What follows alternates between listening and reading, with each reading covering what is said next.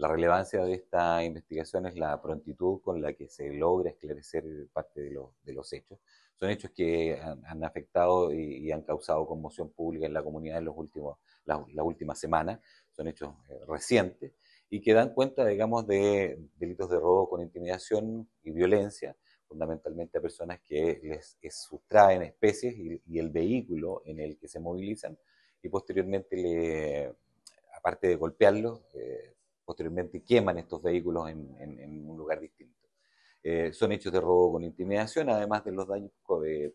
correspondientes al mismo, el porte eh, y uso de armas de, fuego, que también es un tema que es relevante para los efectos de la investigación de estos delitos. Ocurrían en la ciudad de Talca, eh, sin perjuicio, digamos, de, indagar otros hechos vinculados, pero particularmente, digamos, se trata de hechos ocurridos en, en la zona central, digamos,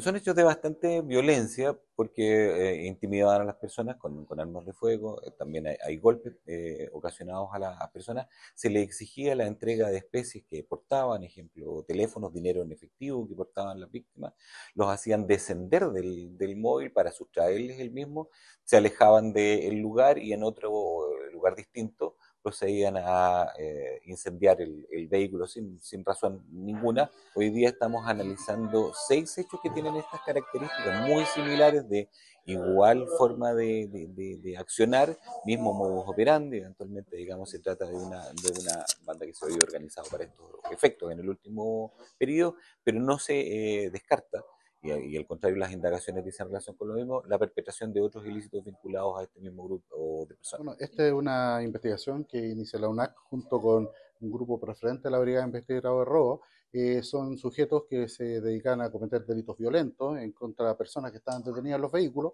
Luego de sustraerlas, agredirlas, eh, se sustraía el móvil y posteriormente este aparecía eh, totalmente incendiado. Eh, diligencias que se realizaron durante un mes aproximadamente, las cuales arrojaron resultados positivos el día de ayer, cuando en la entrada de registro se procede a la incautación de armas, la detención de dos personas, uno con antecedentes policiales, que con esos eh, vehículos podían ser cometidos, eh, ser utilizados para cometer otros delitos, lo cual efectivamente es así, pero posteriormente procedían a destruirlo, pensando que podían eliminar cualquier evidencia que los pudiera inculpar bueno, eh, se pudo incautar eh, munición, armamento, eh, el armamento está adaptado para disparo, el acelerante y las máscaras con las cuales se cubrían el rostro para asaltar a, estas personas. Bueno, son todas técnicas e investigaciones, el trabajo en conjunto que tiene la policía junto con la, unidad de crimen organizado. Entonces son antecedentes que se van recopilando a raíz de y a través del análisis de datos, incautación, entrevistas, en fin las cuales son una vez eh, todo en conjunto, se puede llegar a un resultado como el que están viendo ustedes ahora. Ahora llama la atención también que haya incluso un inhibidor de señal.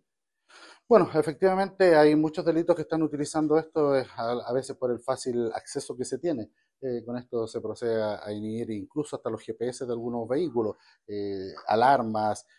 cámaras de video, en fin. Eh, así que lo están utilizando para poder así eh, desorientar el, la labor policial. Estamos hoy día reunidos acá en este cuartel de Policía e Investigaciones junto al jefe policial regional y al fiscal regional para dar cuenta y eh, también